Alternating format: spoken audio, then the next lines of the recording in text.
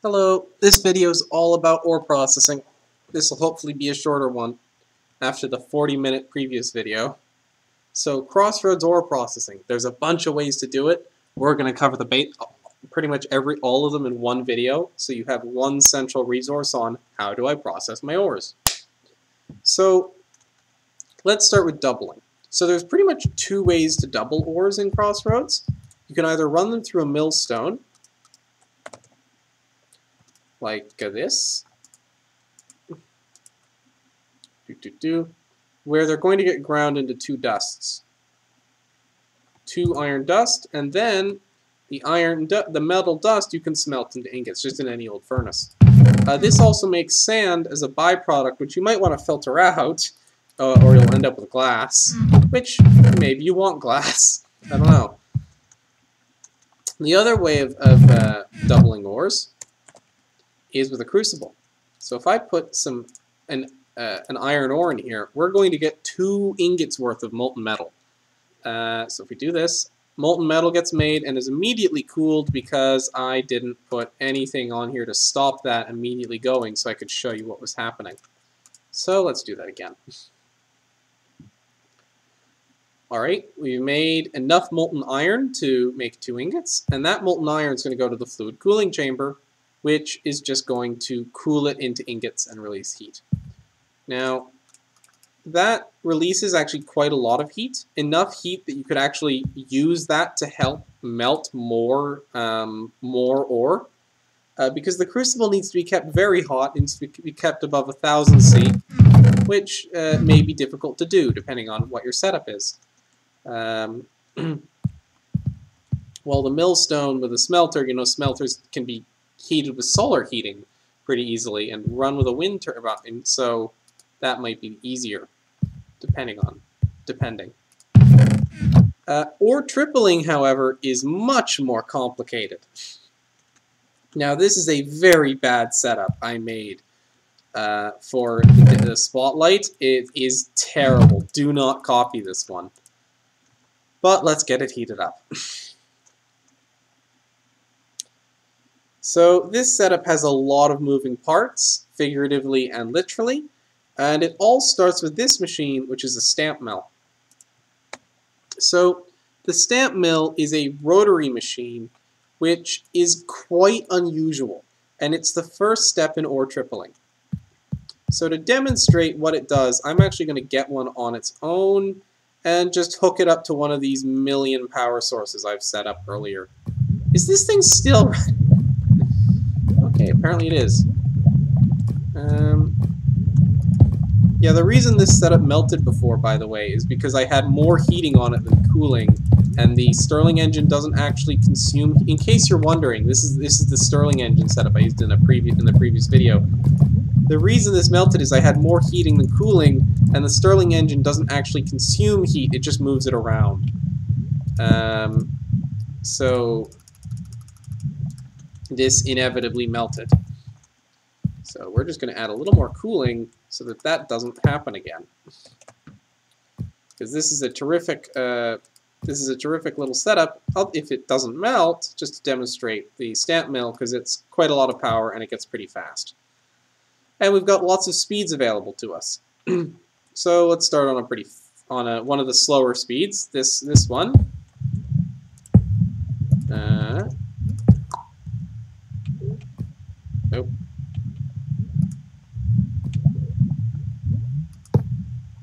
So if I hook this up, stamp mill connects uh, on these two sides here with little holes. And we can see it stamping. So if I put a piece of ore in, let's pay attention to a, a few things. First of all, we have two progress bars. That's weird. this machine has a time progress bar and a progress progress bar. So once I put an ore in, timer is going to start ticking. And progress is going to start ticking. And it spat out the ore again. And the progress bar didn't reset, but the time bar did. So what just happened? So that time, let me, let's break it down. That time bar runs regardless of whether this thing is powered or not. It's just, once you put something in, after a certain amount of time, it's going to come out the output.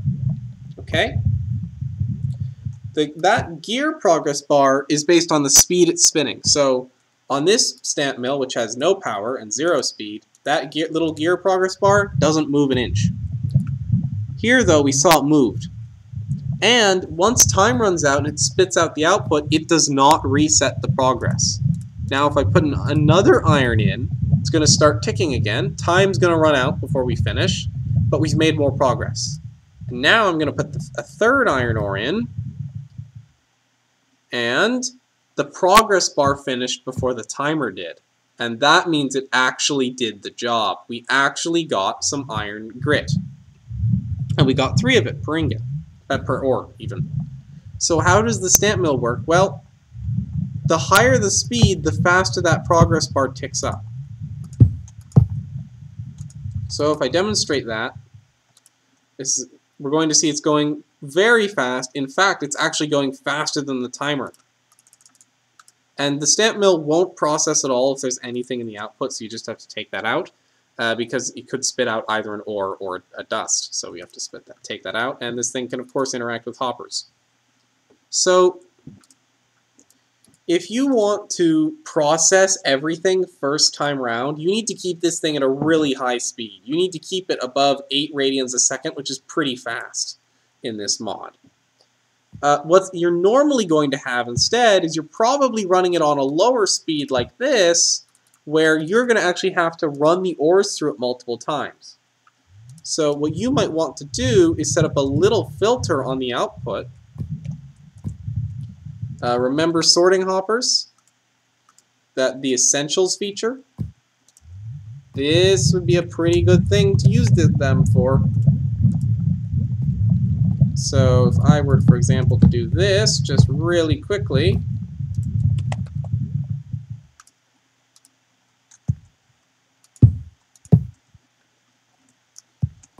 and I'm just going to use item shifters, another uh, essentials feature.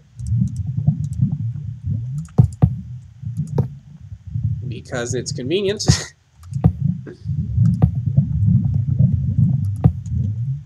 Let's say I put my ore in my filter. Hopefully you remember all this stuff from my Essentials tutorial, or you've used Essentials before.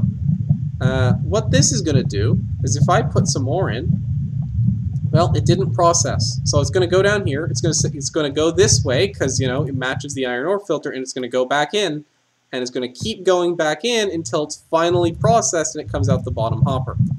Uh, there was a little ore in there from when I was still setting this up. This does actually work as a filter.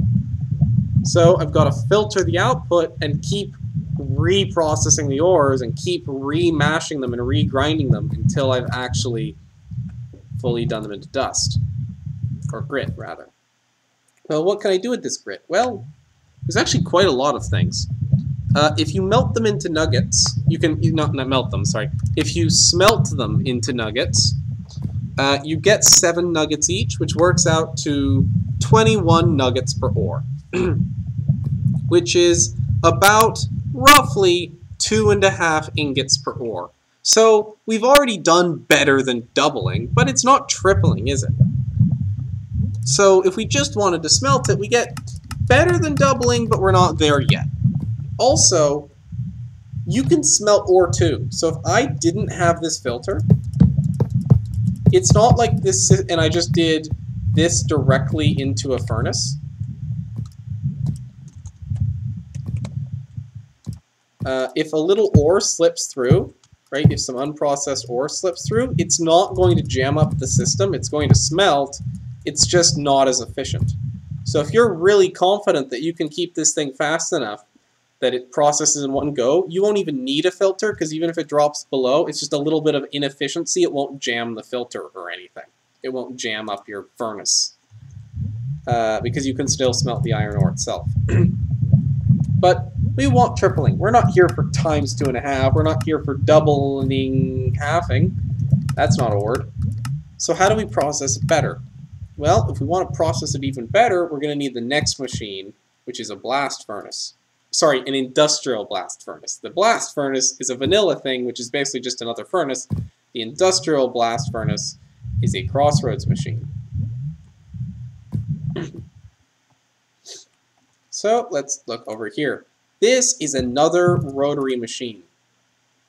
Uh, it's a so a lot of rotary being involved here. It has a minimum speed. It will not work at all below 2.5 speed. 2.5 isn't super fast. Uh, it's slightly faster than what a wind turbine can do without gearing, but it's not super fast. But it won't run at all below that speed. And it doesn't use a lot of power. But it does use coal or charcoal. So this is a machine that uses both power and fuel. So we can run it on coal or we can run it on charcoal. this one I've got with coal, but it, it doesn't make a difference. So if I put some raw iron grit in here, it's going to do some stuff. So let me explain what it did by disconnecting all the pipes and breaking all the hoppers so you can see exactly what it's doing. I put one grit in. It made 144 molten iron and two slag. 144 molten iron millibuckets, that is one ingot. So we got one ingot of iron out of our one grit, and we got three grit from one ore in the stamp mill, which means we've got ore tripling, because we can cool this into ingots. Also, we used a little bit of our coal, and we made two slag. So, one coal is equivalent to, or one charcoal works out to eight slag. So every time you see this little black bar, that's our, we can, let's call it the coal meter. it's not what it is. You can see every time we process some, that little black bar drops a little bit. We have a little bit less. And once that runs out, we're going to need to, we're going to consume another coal or charcoal. So let's just use it all up.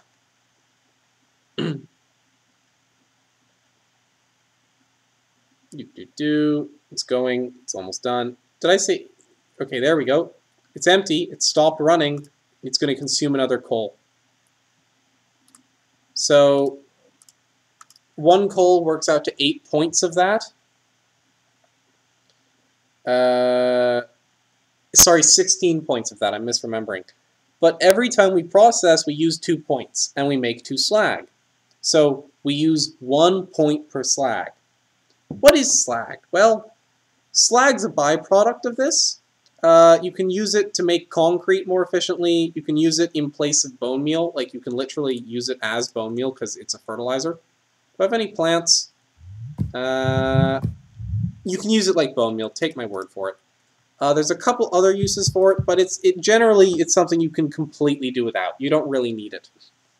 But it has its uses. But we're spending coal or charcoal to make this slag, and it's not even that useful. Uh, let me connect up this pipe so that we can cool all of our molten ironing into ingots and get our triple metal. Wouldn't it be great if we could use less coal?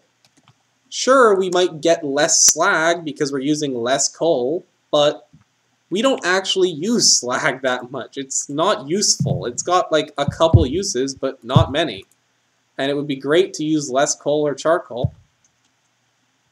Hey, there's an optional extra machine here, and in this setup I actually used it. This is the ore cleanser. This is the next machine we're going to show off. so the ore cleanser and the other cleanser machine we're going to show off is the water you know what this sound is? This, this sudden silence? It's me realizing I forgot to do a machine in the last video. ah, I missed a machine. I really, really meant to do a couple of machines in the last video that I did not do. This video is going to be about ore processing and everything I forgot to do in the previous video. Right, I'm going to have to change the title of this. Gosh darn it. Um, I forgot quite a few things, actually. Okay. The ore cleanser uses steam. It's one of those machines that actually uses steam itself directly. And it and what we and it makes this byproduct called dirty water. Dirty water is a liquid, obviously. Well, it's more of a mud, but it's dirty water, nothing special. Um, it doesn't use any power, it just uses steam and it makes dirty water. And you use this, uh, the grit which we got from our stamp mill, and we put that in. This one's full of dirty water, so it's not actually going to run. Hold on. have this for a reason. Okay. So how much dirty water is in this pipes? How long is it going to take? Okay. So every time we process grit, we're going to use some steam, and we're going to make some dirty water. And we also turn those that those those uh, th that dirty grit into clumps.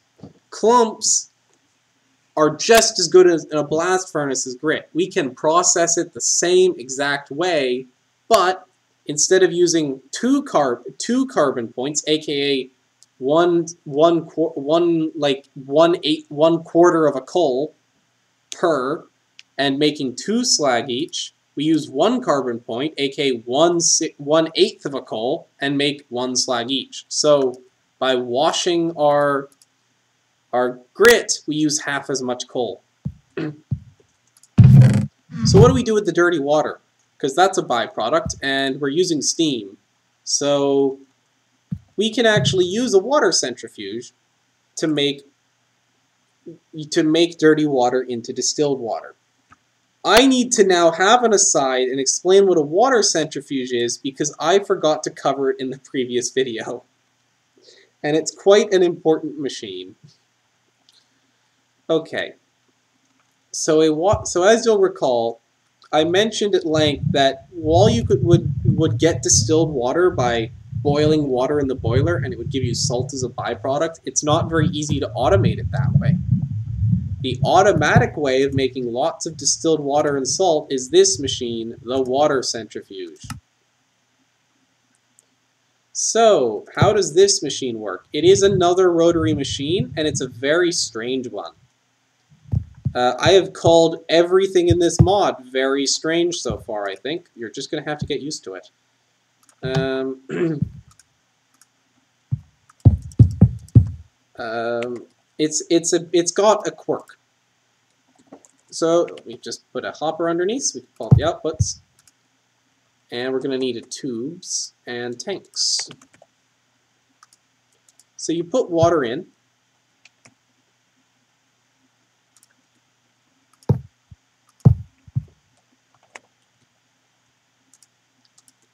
To need a bucket. And so we put water in like this, and the pipes for the water go in the orange side, and we pipe out the red side, okay? So this machine is going to convert water into distilled water, one-to-one -one ratio, and it's going to make salt as it does it. But it's got rotary power, why isn't it running? It's got water, what, what's going on? Well, this machine needs to switch directions. It actually needs the spinning the, the gear direction to change. So every time the gear direction changes, it does one batch. It makes it makes one batch of distilled water and it makes one salt. So I am here manually changing this to the spin direction. But there's obviously you can do this automatically. Now, it doesn't just need the direction to change, it needs the speed to get fast enough, so it only counts if the speed gets up to uh, 0.5, which isn't very fast at all, but still, it's a minimum. So obviously the automatic way to do this would be something like this over here. Remember this little uh, thing here, where every time it got a redstone signal, it switched the directions of the gearing?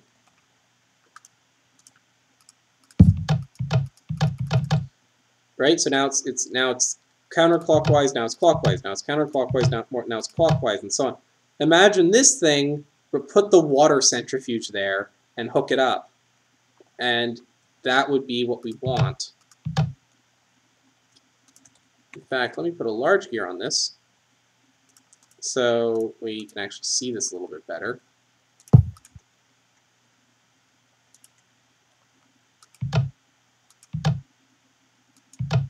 See? So keep switching direction. So building something like that on the water centrifuge and maybe using a timer or some sort of redstone uh, circuit if you want to be clever would definitely be a good idea. Um, anyway, now that we've come back from our water centrifuge, you can also use that to turn dirty water into clean water in the exact same way. So again, speed has to get to 0.5, direction has to keep changing. Uh, here we go, it's running. I've got literally one of those toggly things I showed off earlier, uh, where, it, where it changes direction. This is a terrible circuit, please don't build this one. Keeps changing direction. Every time it changes direction, we make uh, we make one, we clean a certain amount of the dirty water. And we also get a byproduct. So when we were cleaning normal water, we just got salt. When we clean dirty water, there's a whole bunch of things that can act, we can actually get, which you can see scrolling by now. Lots and lots of things. Some of which uh, are valuable, like gunpowder, and most of which are less so, like salt. The other interesting thing about the water centrifuge as a machine is most machines will stop when the output is full, and the water centrifuge won't. So even if you if you fill up on like distilled water and you don't care about distilled water but you just want salt, you can keep running the water centrifuge and it'll just void the extra distilled water and keep making you salt. So this is an extra little setup you can add if you want to be more efficient uh, with your coal or charcoal and also get some byproducts that might be useful. Now I need to cover all the other machines I forgot in the last video, of which there are a disturbing number. Rotary pump. Thank goodness this one's simple, because I am getting tired of talking.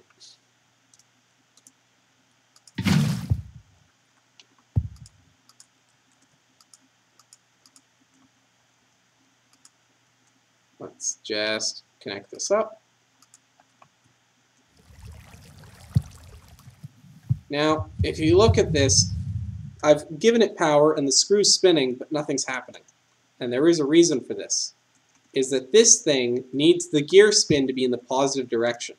That's the thing about corkscrews and pumps. They only work one way, and the one in Crossroads is no different. So, I've intentionally hooked it up wrong so that I can now hook it up right what you're going to see is that the water gets sucked up and removed from the world. So this is a pump. It removes liquids. It can only work on liquids that are where the source is directly beneath them like this. Also, it's full now. Uh, it does actually collect the liquid, so I can pipe, uh, pipe that into a tank. Right, we're getting the, the water in here. It only works if the source is directly below it, like like this doesn't work because the source is over here. But if we make this an infinite water source, we've just got, you know, infinite water. It's a pump. It does pump things.